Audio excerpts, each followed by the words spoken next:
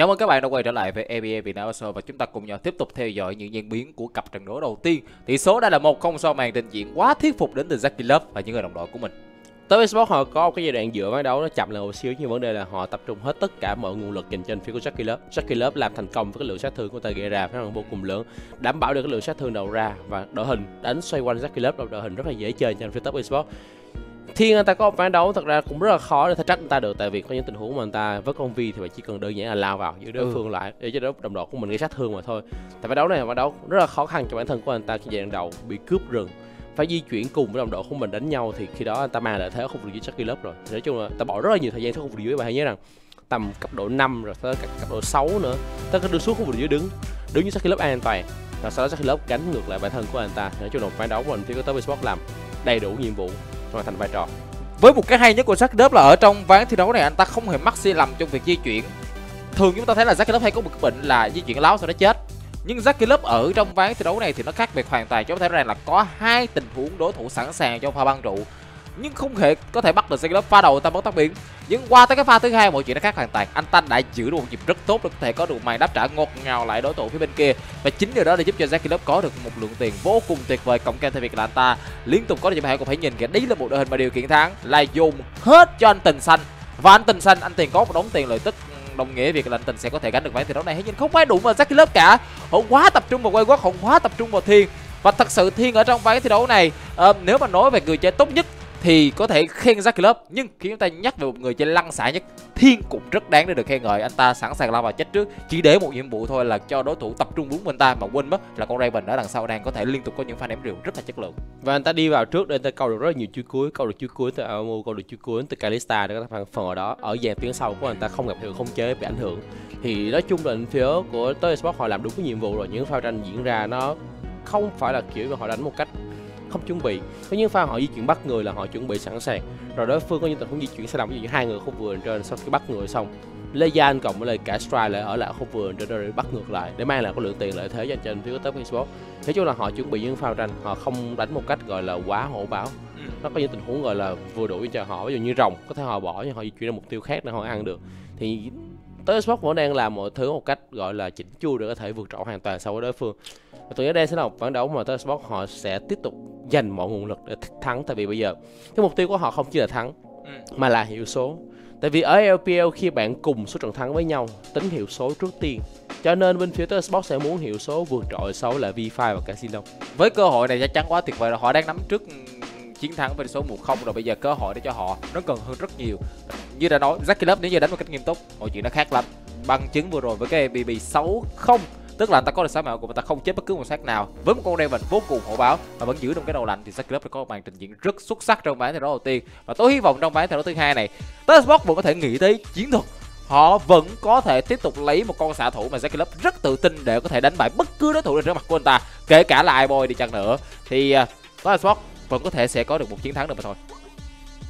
Tên số phía đội 2 cấm đi Jerry ở Wukong, khi đó ra tuần phía đội 1 cấm đi Senao thêm cả là Bobby. Bobby hiện tại đang bị loại bỏ khá là nhiều lần, tại vì đây là một vị tướng đi rừng hiện tại có khả năng kết hợp ra khu vực đường rất là hiệu quả, mang lại hiệu ứng khống chế và chống chịu tuyến đầu cho đội hình, như kiểu đội hình của Jackie Love rất là tốt. Cấm na, khu vườn trên từ Ratom một sự lựa chọn cấm mang rất là nặng về người chơi. Khi đây là vị tướng mà thấy chọn khu vườn chơi mang lại lợi thế rất là lớn. Reta Class cũng bị loại bỏ đến từ phía của top esports. Họ không muốn đối phương có một tướng hỗ trợ rất là mạnh ở khu dưới như thế này. Đúng là như thế. Chắc chắn là như vậy rồi. Reta Class một con tướng mà top esports đã chọn và rất thành công trong bái đấu trước đó, gây khó dễ rất nhiều thì chắc chắn top esports không muốn xuất hiện trong tay của Reta với first pick đầu tiên. Nhưng kỳ này thì xem xem là liệu bên phía của Reta có thể ờ, first pick một vị tướng đi rừng hay không. Thường chúng ta sẽ thấy Vigo được chọn trước, nhưng Red Tầm vẫn muốn tiếp tục cho iBoy trở thành người carry chính trong đội với việc là sẽ lấy Aphelios trong ván thi đấu này. Còn ngược lại tới Sport, họ sẽ có con Virgo cho Thiên. Đơn giản thôi, Thiên rất thích đánh con tướng này. Đây cũng là con tướng mà giúp cho Thiên có được bước chân vào trong cặp trận đấu chung kết của mùa giải trước. Cho nên ở trong trận đấu này thì không có lý do gì cho Thiên có thể từ chối một món quà mà các thành viên của Rare Tầm họ tặng cả. Và cặp đôi Silas với Vigo là một cặp đôi cũng rất là hot cái thời điểm mà con tuyết phép còn hoành hành ở khu vực đường giữa thì chính Silas chính là một trong những sự lựa chọn rất tuyệt vời để kết hợp cùng với lại Vigo trong đó và bắt lẻ. Và khiến cho một tuyết phép gần như không có cách nào để thể định mời sang những cánh những cánh khác cả. Cho nên, sự lựa chọn này tôi cảm giác nó rất là hổ báo và nó rất là hợp lý như đó. Sport mang cho câu chuyện là ở trong giai hiện tại ra tầm, chưa có bất cứ một con tướng nào cảm giác như có một cái chiêu cuối chất lượng cả. Họ mới first pick một con Aphelios thôi, nhưng mà bán việc thương của sinh giao thì nó lại là một câu chuyện khác nha một phần đó thì ở khu vực đường giữa Salad là vị tướng hiện tại đi đường không thua so với những tướng khác. Để thấy sức mạnh ở khu vực giữa bây giờ là những vị tướng như là Azir như là Corki rồi như là những con tướng Azir, Corki hoặc là Talia chẳng hạn. Thì ra Salad không đi thua con nào cả. Khả năng farm của Salad có khả năng đẩy đường của Salad có và khả năng tấn công của Salad cũng có. Có là độ vương sát thương của những phiên bản trước đã được gia tăng sức mạnh rồi. Cho nên Salad là một sự lựa chọn và thấy kết hợp rất là dễ dàng để có thể phối hợp cùng với là rừng hoặc là những vị tướng lao vào dạng đầu giúp cho cái lượng sát thương và tiếng sâu của bạn một cách dễ dàng hơn. Vấn đề là bây giờ muốn chọn đội hình như thế nào vẫn còn Setam Ken dành cho bên phía của top esports nha. Đó cũng là một sự lựa chọn mang thiên hướng có khả năng kết hợp rất là hiệu quả được. Nhưng đang để đó là một con Kaisa dành cho phía của Jackie cũng hợp lý. Dù gì mà nói tới Sport ờ, dù gì thì đối thủ cũng đã ban mất con Senna tức là rất là khó để bạn có thể suy nghĩ con tướng gì đi phù hợp với là Tam Ken lắm. Cho nên họ quyết định là sẽ gia tăng thêm mức độ cơ động hay chăng đây. Họ hồi nãy họ nghĩ tới con Kasa thì họ biết được con Kasa có mức độ cơ, động khá là cao. Kỹ năng E nếu như được búp thêm thì bạn sẽ có được cái mức độ tàn hình nhất định. Và nếu như R của bạn này không cần nói tới bản năng sát thủ luôn là thứ giúp cho khoảng cách giữa Kaisa và những người đồng đội của mình lúc nào có thể ngắn được lại cả. Cho nên đây là điều dễ hiểu thôi. Nhưng quyết định của họ lấy con asu nó sẽ ok hơn. Tức là trong trường hợp mà Tosport họ rất chăm chú và chỉnh chu cho việc là hỗ trợ cho Nai thì ở khu vực đường dưới Ashield có thể tự chơi được. Đây là một con Ashield tương đối là tốt ở khu vực đường dưới và cũng sẽ không bị tác động nhiều lắm bởi một con Aphelios bên kia. Khoảng thời gian cần để Aphelios xanh thật ra đã lâu hơn so với Asriel Asriel tích sau nước mắt là chơi được rồi. Cho nên, ván thi đấu này Tosport họ muốn giữa ván đấu họ là đội làm chủ. Với Asriel với Sadat với Vigo và ngay lập tức họ ban con Rakan một trong những con tướng đi rất hiệu quả với lại Aphelios ở khu vực dưới thế đó điểm mạnh của họ chính là khả năng mà không cần chiêu cuối những vị tướng như là Viego, như là Salat bạn không cần chiêu cuối, khả năng tiếp cận của bạn có lượng sát thương của bạn đã có sẵn rồi. Với Salat và chiêu với Viego đó cũng là hai chiêu rồi. Lượng sát thương của bạn có, kết hợp với lại Ezreal nữa, thì bạn không bị phụ thuộc quá nhiều vào chiêu cuối như là con Xin Zhao hay như là cái lượng sát thương gây ra từ Aphelios. Cho nên bạn có những tình huống đánh nhau nhỏ lẻ cách hiệu quả hơn. Thì bây giờ sự chọn khu vực dưới sẽ là cái gì đây dành cho anh phía của top esports với vị trí hỗ trợ? Nếu như Ezreal thì bạn có thể đi cùng với khá khá những cái kiểu hỗ trợ. Đội hình này thì bạn thật ra vẫn có thể chọn Leona thì bị Leona có làm choáng kết hợp với những vị tướng lao vào như là Sylas như là Vigo khá là hiệu quả. Cắm Trash cắm luôn cả Rakan đến từ bên phía của Toy Sport Nautilus vẫn còn đó cũng là sự lựa chọn. Phần đó bạn khiến cho con Aphelios này gặp khá là nhiều trở ngại. Nhưng để xem sự lựa chọn hỗ trợ đến từ phía Jackie Love là cái gì đây. Còn bên phía Rare tầm thì họ bắt đầu nhắm đến khu vườn trên họ cắm với Aurelia rồi Hiện tại Taskforce đang thiếu khả năng mở, đó là điều yếu của họ trong giai đoạn hiện tại với lineup Virgo, Silas và Ezreal. Tôi cũng có thể nghĩ tới được một con Leona khu vực đường dưới. Retum đã khóa đi Seju đi khu vực bởi vì họ biết được đội hình này của Taskforce thật ra quá nhiều sát thương. Cái cần là tuyến trước chất lượng, cái cần là tuyến trước phải thật sự có mức độ cứng quá cao. Thì lúc đó Taskforce sẽ tương đối là có thể dễ chơi với một pha giao tranh. Lao lên liên tục mà không hề lo ngại là một người đó sẽ bị bốc hơi khá nhanh. Cho nên việc không còn Seju đi thì bắt buộc cái Taskforce sẽ phải suy nghĩ tới khu vực đường dưới xem là con nào mở được. Thì bây giờ còn con sáng nhất đúng là mỗi một con Leona thôi. Và có thể suy nghĩ tới con Nautilus. Nhưng Nautilus sẽ không thể nào đánh được vào sâu đội hình này của Red tầm một cái thái dưa sang thật ra nó sẽ gây tách dễ nó sẽ ok hơn tí xíu. Cho nên việc lấy Leona là chuyện tôi nghĩ là dễ dàng dành cho bên phía của Taskbox khi mà nghĩ tới con tướng này mà thôi còn trong đó Rare tầm họ sẽ lấy một Nautilus. Nhưng đang có vấn đề đây. Nếu một con Nautilus nó sẽ hơi khó để cho có thể counter vào cái lớp này của Rare tầm đồng ý thì lo tầm nhiệt hất tung được khá tốt nhưng nhìn đi nhìn lại, cái mà bây giờ đang cần đến từ Rare là ít nhất phải có người san sẻ thêm cái mức độ carry đến từ một Aphelios nữa. Chứ một mình một mình Natalia cảm giác không đủ và họ quyết định lấy thêm Vladimir để có thể phục vụ cho những tình huống có thể dồn sát thương cùng một lúc. Và sự lựa chọn này là hợp lý và ra tập nhưng đang có một vấn đề lớn, khống chế đang hơi hạn chế, khống chế đang hơi ít. Còn trong Data Sport họ đang muốn tiếp tục gia tăng khả năng khống chế của mình lên. Nhưng họ nhìn vào, họ thấy con Leona quá dư, họ thấy sát cũng có thấy Vigo cũng có, họ chuyển sang sát thường họ đang muốn có quen khu vực đường trên thì phải và sau đó khi mà bạn chọn cho Nautilus khu vực đường dưới thì bạn cũng mang lại hiệu không chế dành cho bên phía của Nai một chiếc cuối cướp được rất là dễ dàng cho cái lượng sát thương cộng thêm với từ Nai với hiệu không chế dùng vào người của Aphelios nữa. Thế đây là một sự lựa chọn phần ở đó nó cũng ép cho bên phía của Ratum buộc phải chọn Nautilus mà thôi. Đợi đó có đeo Leona rồi bạn có thể chọn Brom được. Nếu như bạn chọn Brom với đội hình này thật ra đội hình rất là khó chơi từ phía của Ratum vừa rồi họ có nháo qua con Brom. Nhưng bây giờ thì đội hình tức cũng cảm giác là rất là khó chơi đến từ bên phía của Ratum có chăng là giai đoạn về sau của Vladimir này kiếm con Ezreal rất là khỏe? Nghĩa là lượng sát thương của Vladimir sẽ khiến cho Ezreal gặp rất là nhiều trở ngại. Và cái sát thương từ Ezreal trả ngược Vladimir là không bao nhiêu cả. Thì Ezreal không có hiệu khống chế. Với Vladimir mà lao vào dùng cho mình, đó là cái hồ máu. Dùng cho mình, đó là chu cuối máu độc. Thì bạn thấy rằng cái sát thương có khả năng giết điểm một vs một là có. Thì Vladimir hoàn toàn có thể khiến cho đội hình của Tursport nó gặp rất là nhiều, rất là nhiều cái trở ngại. Thì có thể chia cắt đội hình của đối phương. Còn ở phía ngược lại thì khi mà chọn que như thế này, thật ra đánh đánh dàn tiến đầu rất là khỏe đến từ bên phía của tới Xbox nha. Họ có rất là nhiều công cụ để thể lao lên, quen lao lên bật cho mình Sherlock bại. Thêm cả đó là còn Virgo và con salad như anh trung vừa nói. Rồi còn leona bạn, không nhất thiết là phải dùng cho mình, đó là e để lao vào trước. Dùng cho mình nó chưa cứu cuối trước, để giữ cho đối phương ở dàn đầu. Giữ cho mình đó là cái quy ở lại khi đối phương lao vào, chấm quy vào người giúp cho Ezreal khả năng tấn công tốt hơn và tôi nghĩ là cái sự lựa chọn của Vladimir này đang có một phần là để có thể khiến cho đội hình của đối thủ sẽ gặp một số sự trở ngại nhất định trong pha la vào của họ. Dù gì mà nói, với một cái lặn máu thì nó sẽ giúp cho Vladimir tương đối dễ dàng để thoát chết trong gang tấc bởi những pha la và tấn công của đối thủ phía bên kia và ta cũng sẽ là một dàn tuyến trước tương đối là ok. Bởi vì nếu như họ chọn một vị tướng chống chịu, nhưng đối thủ có quá nhiều sát thương phép thì nó sẽ rất là dễ tự hủy. Cho nên chuyển sang một con tướng có thể câu kéo và vẫn có thể tự thoát đi được. Trước khi đến cũng sẽ có mức độ hồi phục nhất định, sẽ giúp cho một con Vladimir nhấp nhả nhấp nhả khá ổn. Và nó cũng sẽ giúp cho tuyến sau của Vladimir sẽ có thêm nhiều khoảng trống để có thể chơi hơn. Cho nên, tôi cảm giác như đây là một sự lựa chọn nó khá là ok. Chứ tôi cũng không đảm bảo lắm là liệu Kip có thể có được một khoảng thời gian yên bình ở khu vực đường trên để à, farm mà thôi. Dù gì mà nói thì Vladimir sẽ cần ui, cái này là đỉnh quang sẽ xích rồi. Đã giữ chân lại được, mắt sẵn sàng cho pha tấn công. Và rút ra ra là phải lùi lại với một pha móc neo của mình. Trong đó khu vực đường trên thì cũng đang có đánh nhau một tí xíu à múa thôi. Tạm thời khoảng thời gian này chỉ là múa thôi và tôi nghĩ sẽ không có nhiều vấn đề lớn lắm dành cho cái hai người chơi khu vực đường trên. Ừ, tôi đang muốn quay trở lại với câu chuyện cũ. Liệu Vladimir trong ván thi đấu này anh ta có thể farm tới ngưỡng ba món trang bị hay không? Hay ra tầm sẽ tương đối khó chơi với cái thành của Sport ở trong giai đoạn giữa của ván thi đấu? Dù như nói Vigo Nai với một con Silas cũng như là một SQ đã thích xong nước mắt thì nó cũng đã đủ để cho phía Sport chơi rồi. Họ đang có một công cụ mở rất khỏe là con Leona. Cho nên họ sẵn sàng lao vào chỗ tranh bất cứ nào mà họ muốn khi họ bắt đầu có được những người trang bị đầu tiên cho bản thân mình nếu như bạn nhớ bây giờ đoạn MSI thì đó là con Vladimir được chọn một vài lần có thể gọi là khắc chế khu vực trên với con quen ừ. cầm cho mình nó tốc hành là thiêu đốt thêm các triệu hồi Ari với lượng sát thương gây ra nó ổn hơn. Nhưng đó là cái giai đoạn mà thật ra đánh một giai đoạn sau thì bạn vẫn thấy rằng nhiều đội cầm con quen nó mang lại cái lợi thế rất là lớn đó từ cái sức mạnh của sân thất bại đến từ sức mạnh của cái xe chỉ luận kim. Cho nên cái sát thương diện rộng một con quen gây ra và khả năng đi đường đến từ con quen nó mang lại cái lợi thế rất là lớn và cái khả năng của cái con que nó là quá nhiều đi. Cầm cho mình được cái trang bị thần thoại thì khả năng của cái con que đó là vượt trội hoàn toàn so với là con Vladimir. Cho nên cũng rất là khó cho Vladimir. Nhưng mà dù sao chăng nữa đi đường Vladimir vẫn sẽ nhỉnh hơn một xíu so với là phía của quen mà thôi. Có chăng cấp độ 6 được cái lượng sát thương đến từ con quen nó sẽ có được cái lợi thế áp lực.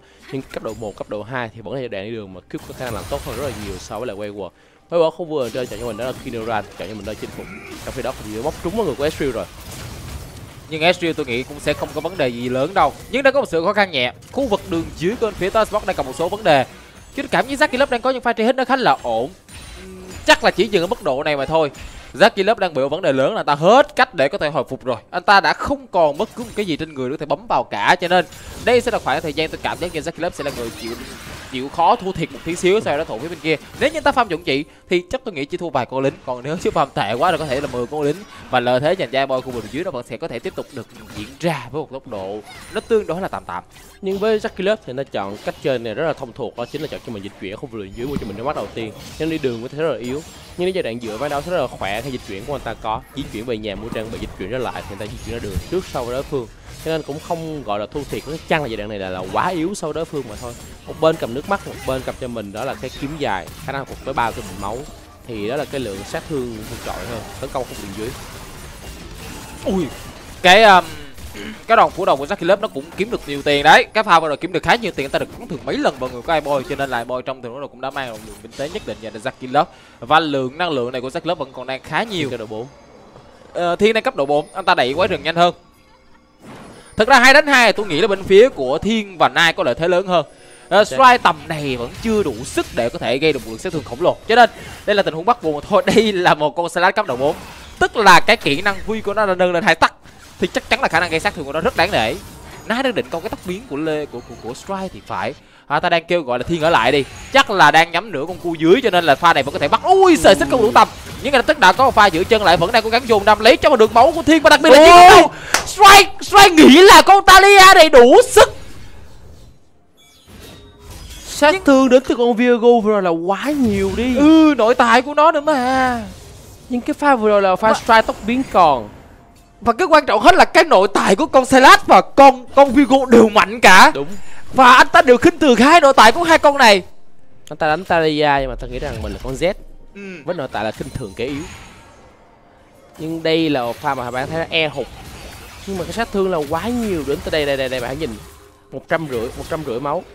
Đó hai cái chinh phục hai cái nội tại gõ cùng lúc. thì vấn đề là cái nội tại rất là khỏe và cái sát thương đến từ bên phía con Viego rồi là cái sát thương rất là ảo diệu. Cứ ngỡ như cứ ngỡ như là một pha kinh thường kẻ yếu nhưng rất đáng tiếc anh ta bị kẻ yếu kinh thường. Và chính tình huống đó đã khiến cho Strike rất lộ khu vực đường giữa và đúng lý thuyết rồi đó. Tức là về mặt lý thuyết Taskforce sẽ đánh mạnh đường giữa trước để giúp cho nay có được những khoảng trống. Và đã thành công. Đó là màn hạ gục rơi vào tay của Vigo. Nó vẫn rất ok mà thôi. Dù gì mới nói uh, thì thiên với một con Vigo này khả năng back play vẫn rất là tuyệt vời. Cho nên chắc chắn rồi vì có được bạn gục sẽ giúp cho thiên tiếp tục gia tăng thêm sức mạnh của mình ở khu vực đường uh, trong khu vực rừng nữa. Còn trong đó lê giang thật ra nhiệm vụ của lê giang tôi cảm thấy chỉ là bảo kê trong đội của mình farm không có bất cứ một tuyến nào của ra tầm đủ lực, cảm giác là đủ lực để có thể giúp cho anh chàng này găng tốt, đặc biệt của vườn trên. Đấy là một con vladimir không có cc. Thì bắt buộc là nhiệm vụ của lê giang chỉ là phản công, chứ không phải là tấn công một cách quá hổ báo. Nhưng chính vì điều đó, nó khiến cho lê giang nó bị vấn đề. Nếu như ta không nắm được cái hướng di chuyển của thiên, thì coi như cái tác dụng của con sẽ bị giảm đi rất nhiều rồi. Và không vườn trên dịch chuyển của Edward có, cho nên anh ta khả năng đẩy không vườn trên dễ dàng hơn so với lại kiếp một đối trụ đã có cho bản thân của anh ta, hơn chín lính so với đối phương đó là cái khoảng cách chênh lệch từ việc dịch chuyển có và bên không có dịch chuyển. Wayward đang kiểm soát rất là tốt không vừa rồi. Khi đó khu vực đường giữa thì này kiểm soát được tính nào cách vượt trội so với lại phía của Strike.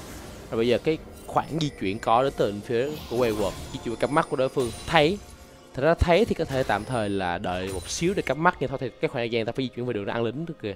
Cho nên cũng không thể nào đứng đợi là quá lâu cả, nhưng ở khu vực đường giữa thiên cấp độ 5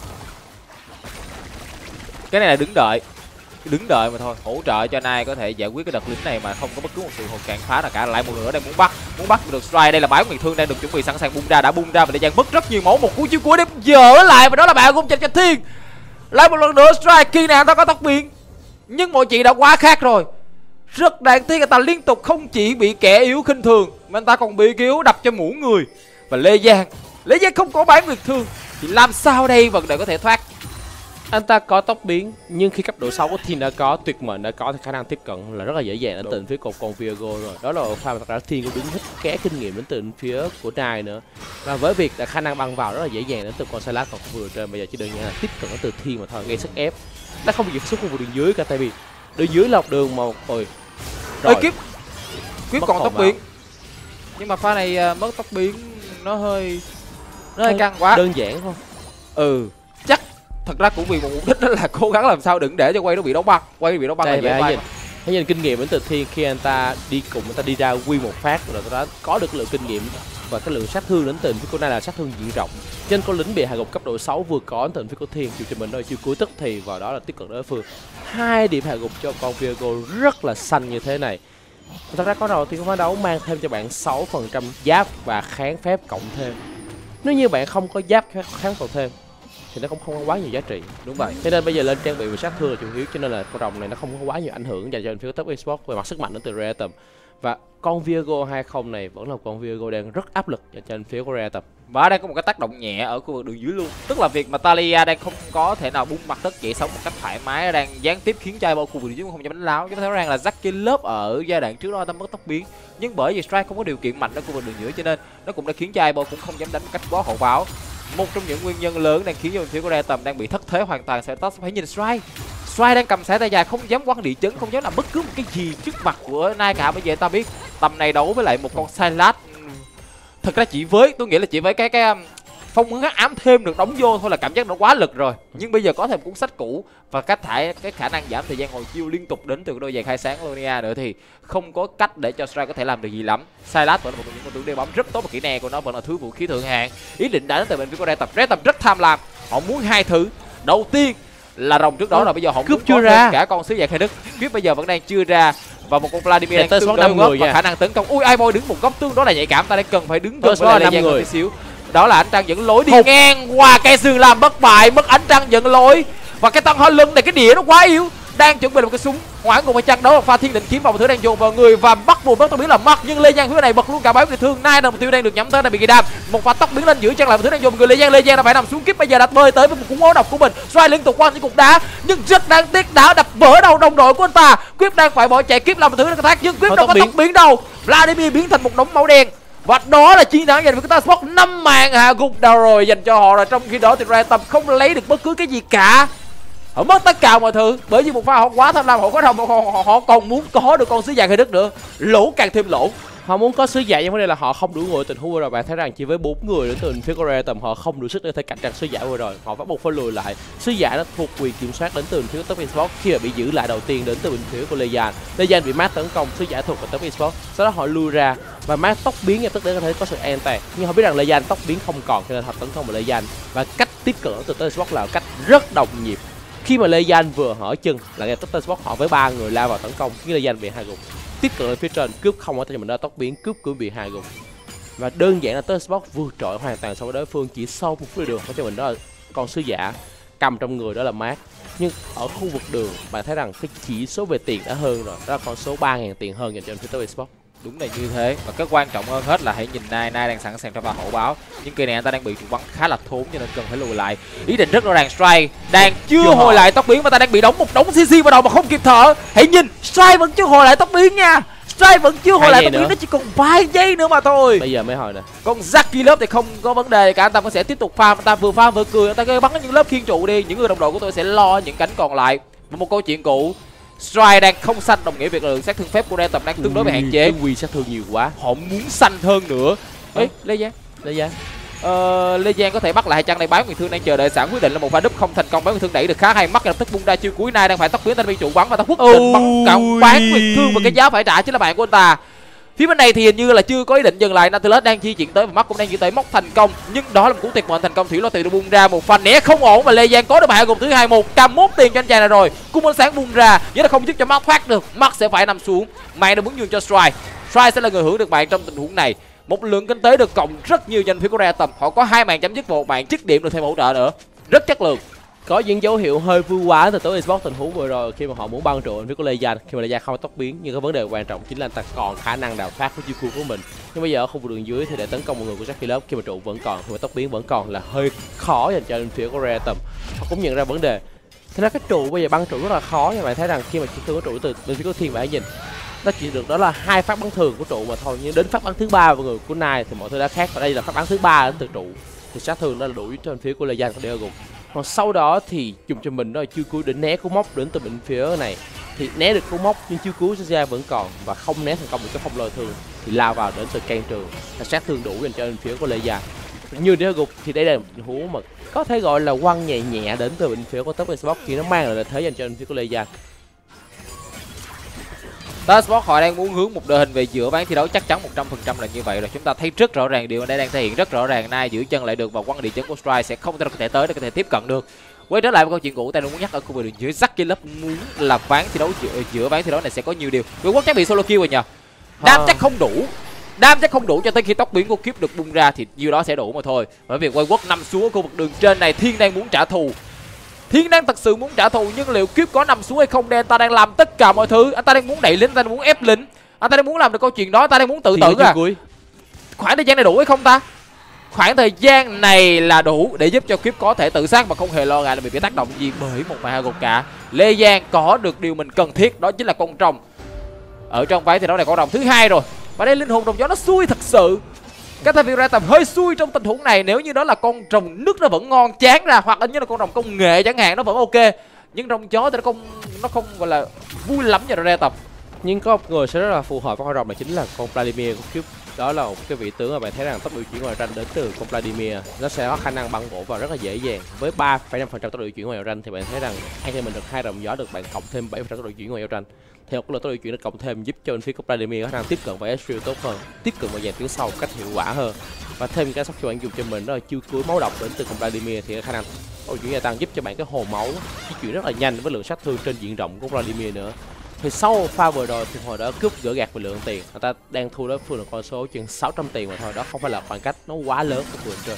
Có chăng là bây giờ khu vực đường dưới không cho đối phương về được để tới bên phía của Jackie Love bắn cho mình nó chưa cua trúng với người của ai boy và hiện sự vượt trội của đường dưới. Tính ra pha này hơi gục một điểm hỗ trợ một cái tình huống mình với Jackie Love. Cái ban đầu thì nhìn có vẻ hơi khổ sở một xíu nhưng đến thời hiện tại thì Jackie Love có thể nói là anh ta vượt trội hoàn toàn so với boy rồi. Nhưng mà tính ra pha này ra tầm đang lỗ nha lỗ rất nặng là đằng khác. Do là hồi nãy rồi mất tốc biến nó chạy do là lê giang chạy ra đường chữa để hỗ trợ đồng đội của mình đẩy lính vào áp lực nó khiến cho bỗng nhiên hai bên cánh một khoảng trống quá to cho Saki lớp thao hồ đẩy lính vô. Rồi chưa kể đến là khu vực đường trên thì Vương quốc cũng được cắt một đống lớp khiên. Trước khi mà phút thứ 14 nó xuất hiện trên bản đồ nó đến từ việc là nay đã có một thế trận thật sự quá áp đảo. Anh ta lấy được một đống máu của trụ một đường giữa và bắt buộc lê giang phải chạy ra. Anh ta quyết định chạy một để cứu một trong hai và anh ta nghĩ rằng cái trụ một đường giữa nó sẽ hỗ trợ cho ra tầm trong những pha sau. Cho nên anh ta bỏ cái thế ở khu vực trụ đường trên và trụ đường dưới. Cho nên từ đó bây giờ tới sport thật ra nhiều sự lựa chọn hơn họ có thể chọn đánh đường trên cũng được đường giữa cũng được đường dưới cũng được. Bởi vì lượng máu của tất cả những cái trụ đó nó đều đang quá yếu ớt tôi nghĩ không cần phải tới con xí giặc khi đức. Đôi khi tới sport có thể bỏ qua câu chuyện là con xí giặc khi đức nó có thể uh, rơi vào tay korea tầm để họ hướng vào hai công trình còn lại nữa cánh dưới nếu như họ muốn. Một con Ezreal rất là giàu và mạnh nha. Khi mình làm có cho mình đó là hai trang bị với linh hồn thêm cái là cái mana moon và chuẩn bị hoàn cho mình. Đó là mana moon và mana thì đây là lượng sát thương rất là lớn từ Ezreal mà bên phía bên kia. Chưa có quá nhiều chống đỡ được.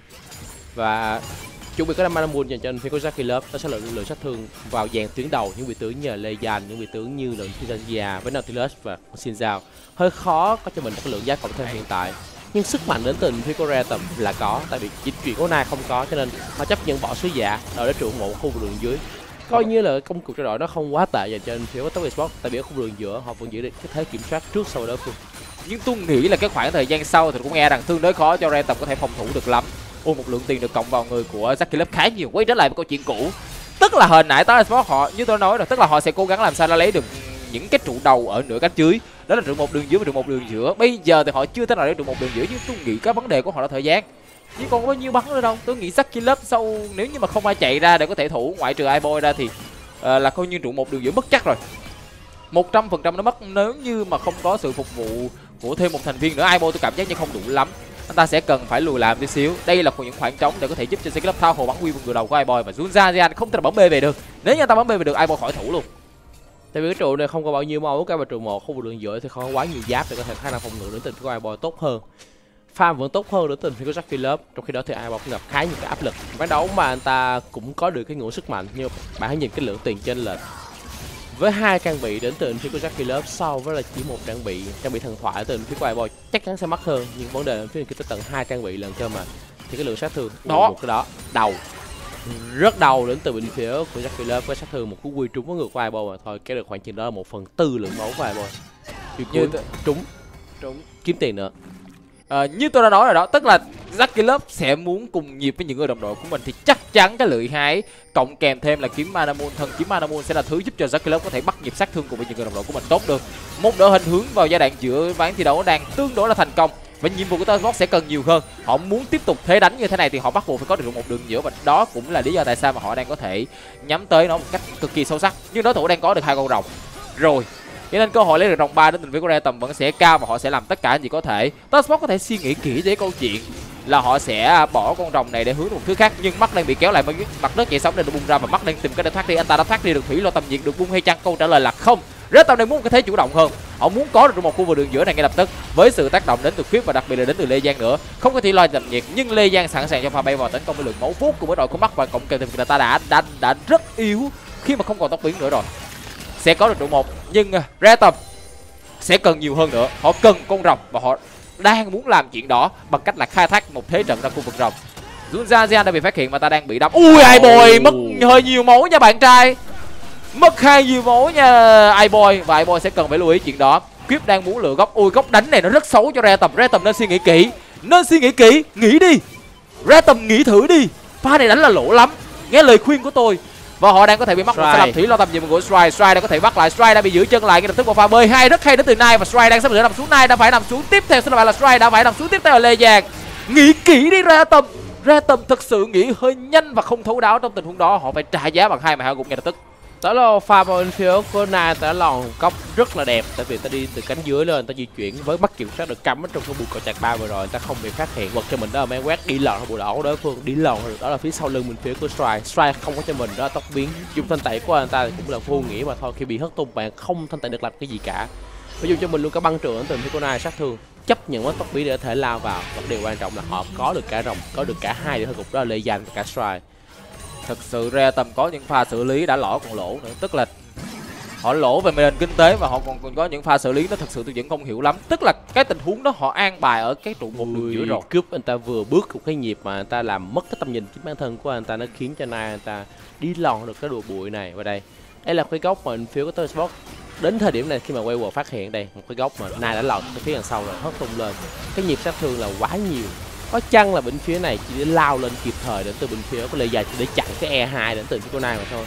Nhưng Nai nói rằng tôi còn tốc biến tốc biến là đánh thường kích hoạt cái nội tại giúp kịp thời cộng được đó là strike. Và rất là đơn giản trên phía tới Xbox bây giờ họ vượt trội hoàn toàn với cái lượng tiền. Bạn thấy rằng với hai phút thi đấu và hơn đó con số đối phương 7.000 tiền rồi bốn trụ tục tới Xbox. Giai đoạn đầu thì có thể là khi mà chấp nhận cái đối phương có được rộng thì họ có những công trình. Còn bây giờ thì phía này đi kiếm mục tiêu không chịu nổi nhiệt thật sự là không chịu nổi nhiệt kể cả là khiếp khiếp cần thêm nhiều hơn là một cái lưỡi hái. Anh ta sẽ cần thêm hai món trang bị nữa thì lúc đó ra tầm có thể dễ chơi. Nhưng do trong hỏi tôi được đặt ra đó chính là khi mà đã lên được xong hai món trang bị đó liệu kiếp có bị thua đồ hơn so với đối thủ phía bên kia không? Câu trả lời nó vẫn sẽ có mà thôi. Bởi vì đây vẫn là thời điểm Tasbox vẫn muốn giao tranh mắt này bắt lại nhưng mắt sẵn sàng quay trở lại đánh nếu như cần. Đó là cùng ánh sáng nó lướt qua ngựa Strike nó lấy một đống máu của Strike và nên nhớ nay vẫn còn cái máu độc tức là khả năng băng bổ của này đã rất là khủng khiếp với cái máu độc và cộng kèm theo cái đồ vương nữa. Anh ta sẽ rất khỏe khoắn cho nên ta không hề lo ngại vấn đề đó. Nhưng tới Xbox đang muốn à, muốn nhiều hơn tí xíu.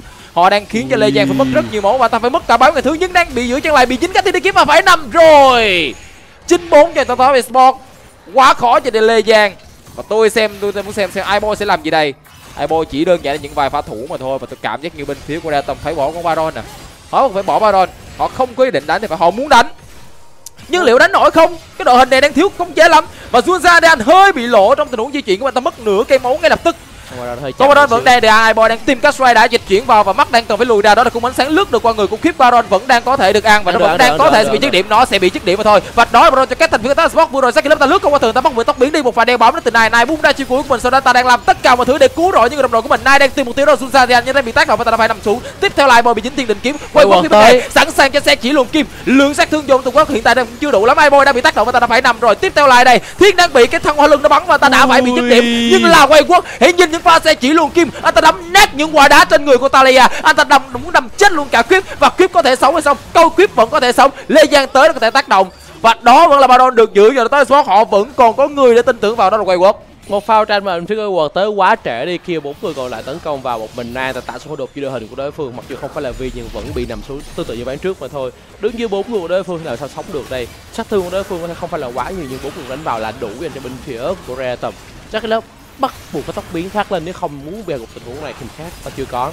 Còn đây này, đứng giữa bốn người, rất cố gắng, rất nỗ lực nhưng không làm được gì cả. Và sát thương của Saki lớp phải đứng ở tiếng xa để thể cố gắng tấn công, cố gắng chống đỡ. Nhưng tóc biến từ strike thoát xuống phía dưới, quay quật ta xuống. Cũng đã bị nằm, nhưng thiên không kịp nhặt xác. Nếu như kịp nhặt xác, kịp hộp lượng máu thì nó có thể sống sót tiếp thứ phía Sport không phải là thắng lợi hoàn toàn. Nhưng đây cũng là một pha tranh mà tụ chung là không phải là quá lỗi thì bên phía tới Sport tại vì tính luôn cái cục bây đó là bốn đội bốn từ cả hai bên. Nhưng Baron thuộc về tới Sport đúng là như vậy. Họ không hề có dấu hiệu bị lộ một tí xíu nào cả. Và này đang thật sự có được một ván thi đấu đang rất là bùng nổ. Anh ta đang có được hình như là một lượng mạng cũng khá là nhiều rồi. Thêm một điều nữa tới Sport họ đang nắm giữ một con Ezreal rất khỏe. Đối thủ phía bên kia không ai cứng không một ai cứng cả. Cho nên để có thể che đậy được lượng sát thương nể liền Ui. nể liền em ăn em ăn một cái quả cung ánh sáng là em để có khoảng 3 năm liền và Strike đang phải chạy quay quốc đang sẵn sàng bung xe chỉ luôn kim lần nữa nếu như muốn Nai đang di chuyển tới. Và Strike không còn tốc biến nữa Nai đang sẵn sàng cho pha mặt đất dễ sống bắt buộc phải đung ra là Nai và được cố gắng né khỏi tấm thảm bất ổn nhưng không được phía bên này thì sau đây Sunsa nó móc vào tường một cú móc vào tường đến từ Sunsa Zian thiên đã bị đeo bám đó là thái gia sàn rất đẹp lượng sát thương để dùng người Strike vô cùng nhiều và ta sẽ phải nằm. Anh ta đã bị dứt điểm rồi đang bơi tới là Kip Kip đang muốn cân máu độc với người Zack phía bên này bị móc lại đó là thiên. Nhưng thiên sẵn sàng cân khai phía bên trên Zack vẫn đang bị tác động nhưng ta sẵn sàng dứt điểm được Kip anh ta cần dứt điểm anh ta đã dứt điểm được Kip rồi. Lê Giang phía này quay xuống Lê Giang cũng sẽ bị dứt điểm theo mạng dành cho thiên tốc lên từ nay quăng không thành công trưởng băng vĩnh cửu giữ chân rất tốt và một lượng sát thương dồn vào người mang lại cho này mà gù. Thủy lo tầm nhiệt kiếm à? đồng hồ dương ra gian móc ngược chắc luôn. À không tôi đáng sai. Nhưng tao sport vẫn có pha giao tranh thắng lợi hoàn toàn trong tình huống xử lý vừa rồi. Họ sẽ họ sẽ có được. Tôi không biết là có được ván thì đó hay không nhưng có thể nhất là một cửa họ đẩy được cả khu vực đường giữa khu vực đường trên và cả khu vực đường dưới với cả ba người chuyển từ phía của lớp đi xuống khu vực đường dưới. Một pha tranh mà họ không mất bất kỳ một ai cả. Họ chỉ đối phương từ khu vực cánh trên với nai thêm cái là quay quần tấn công vào đó là strike không phải là các cube. Khi đó ba người còn lại đó chính là Max, Saki Love thêm cái là Thiên. Một pha đấu mà Thiên quá khỏe đi thêm cái là sát thương của Saki Love được gây ra và cái dàn chống chịu của họ là đủ khi với một mình Max đứng chịu sát thương của đối phương. Đấy là pha tranh ở khu vực bùa xanh của đối phương mà bạn hãy nhìn. Jackie Love người ta dính cho mình ở chiêu cuối từ Nautilus nhưng cái vấn đề là không có sát thương dồn vào. Và anh ta hoàn toàn chấp nhận đứng yên đó, không vấn đề cả, tại vì chiêu cuối của Mark dùng mọi người của strike bạn hãy nhìn Airboy Airboy không dám bước lên chơi, tại vì nếu như Airboy bước lên một phát là anh ta bị khép góc hoàn toàn từ cả Nam và Jackie Love đây. Đây là hai góc kia bên này, bên phía tới kịp thời. Trong khi đó thì Jackie Love có được mạnh kháng phép nhỏ, giúp cho anh ta sống sót thành công. Và đã đã biến kiếm đơn cưa chính là sẽ cho Top Sport họ còn tự tin hơn nữa. Jackie Love đôi khi chỉ cần như em thôi. thanh tẩy sắp hồi thanh thôi. tẩy sắp hồi. Nhưng rất đáng tiếc tôi nghĩ Ờ, ờ. thứ đang cần thanh tẩy đó là tội lỗi của iBoy trong pha xử lý này thì nhiều hơn. Và voi đã phải trả giá. Anh ta chưa có hồi lại cái thanh tẩy nữa. Bây giờ hồi lại thì mọi chuyện đã khác rồi. Quá khác rồi. Ừm, Quip với một con Vladimir trong giai đoạn tại sẽ cần phải bấm bê biến về để có thể cứu rỗi những người đồng đội của mình. Điểm mạnh của một con SU là đây một con SU cực kỳ thích một đội hình mà không có bất cứ một con tướng nào chống chịu là đây rồi. Đang tiếp tục thể hiện được một sức mạnh. Lại là một lượt đấu dân móc vào tường. Một cú móc vào tường khá ngớ ngẩn. Và cái giá phải trả chính là mạng của Junza Jian. Thật sự tôi không hiểu tại sao Junza lại thích tường đến như vậy. Anh ta cắm đầu vào tường cho ta chết. Và 18 8 Sport sẽ muốn nhiều hơn so với lại một cửa, đó là hai cửa và nếu như khỏe hơn nữa họ muốn được luôn cả ván thì đó nếu như cần thiết họ vẫn đang có sắc club đang vô cùng xanh xao với những pha quỳ liên tục của mình. Quý một phát uh, kiếp né được phía bên này sau thiên này bị giữ chân lại. Thiên đang muốn nhắm À, vào một phần nai quăng xịt xích không giữ chân lại được ngược lại phía bên này thì thiên cũng đang bị tác động.